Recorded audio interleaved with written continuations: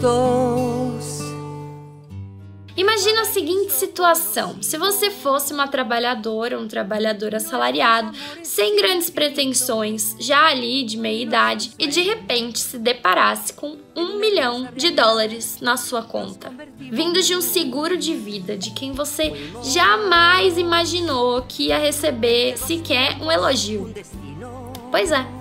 Isso acontece com a Joana em Apaixonando-me por Ramon, o que vai causar muita discórdia e confusão entre a família dos ricaços, que não vai gostar nada dessa história. Em meio a esse conflito tem triângulo amoroso, amores impossíveis, segredos do passado, reviravoltas de tirar o fôlego e tudo num clima bem gostoso de uma novela rosa. É imperdível. Assista Apaixonando-me por Ramon. desenfrenado amor el tuyo.